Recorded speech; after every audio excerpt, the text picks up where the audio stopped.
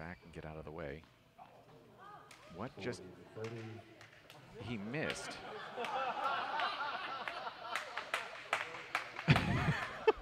Jaziri just now realizing that he won the point. I, he just missed.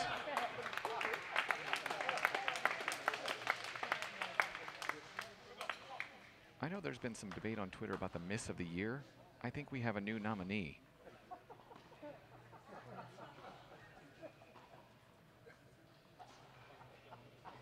Jaziri was ready for the tiebreak.